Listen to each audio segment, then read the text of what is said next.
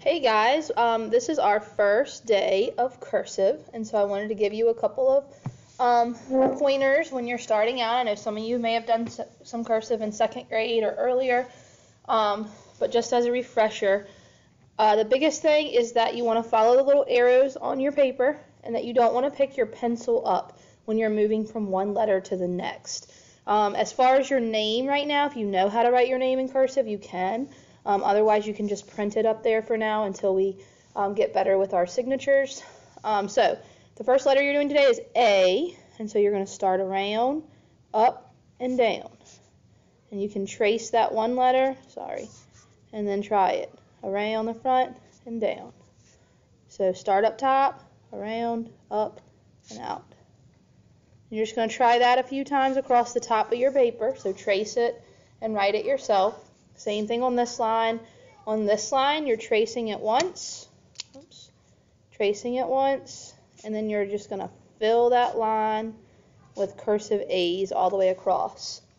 Um, as we move down, these are going to be um, words that start with an A and go into some other letters. So we haven't learned a lot of other letters, but um, basically, again, we don't want to pick our pen up. So we're going to go at A, up to the T, and cross. So you don't pick it up until you want to cross your T. Cross. A, and then you go straight up into a lowercase t and cross.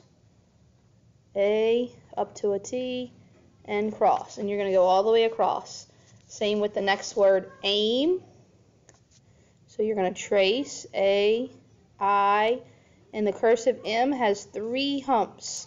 Unlike a print M that only has two, your first one is to connect it, so it actually has three. So this is aim, like you're going to aim the um, Nerf gun at the target. So three. So A, I, and then three for the M. And you're going to do that all the way across. Next we have and, and you'll notice that the letter N has two little bumps, kind of like a lowercase m in print.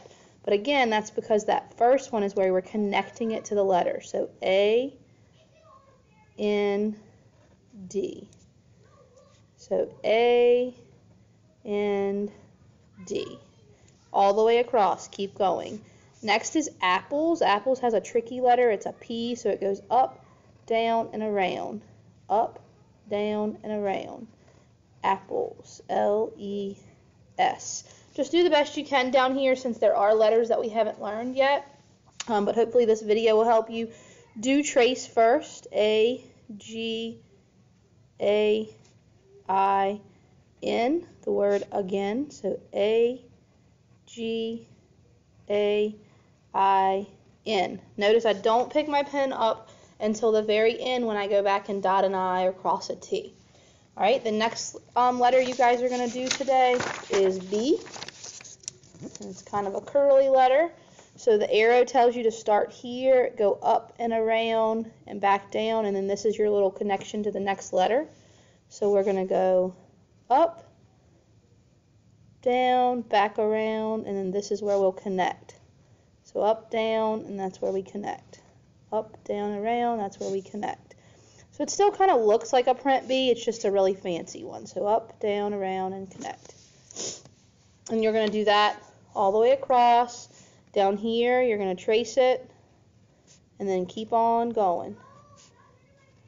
So it's kind of still resembling a lowercase b, but it's got that little connection piece because when we get down here, like in the word B, we have to go up, around, and connect it to our E.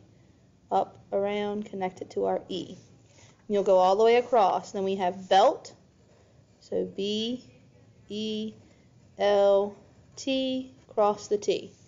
Bat, B, A, T, cross the T. And again, you're going to write these on your own as well, all the way across the line. Then you have bubble and bumblebee. Um, so, good luck, take your time, um, try your best, and show it to me when you are done.